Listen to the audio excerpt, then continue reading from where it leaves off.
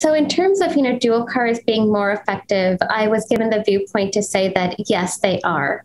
Um, I think that you know probably where the where the reality sits is that there is a lot of promise. I think that there is a tremendous amount of potential, um, but I think that you know we are still slowly making our way there and trying to figure out what are the elements that are needed to be able to make dual CARs fulfill, you know, the promise that we have thought that they would. Um, and what that really means is being able to preserve the efficacy of single antigen targeting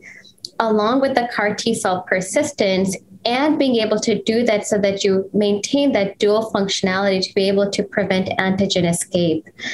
Um, you know, from the papers that I've demonstrated that I discuss in my presentation, you can tell that you know we we don't quite get um, exactly where we want to, but I think that each iteration of the dual strategy really helps us to learn a little bit more.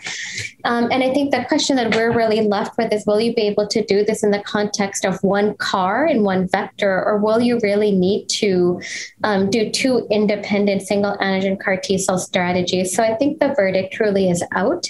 into what is the best method for doing dual T cell CAR, CAR T cell targeting.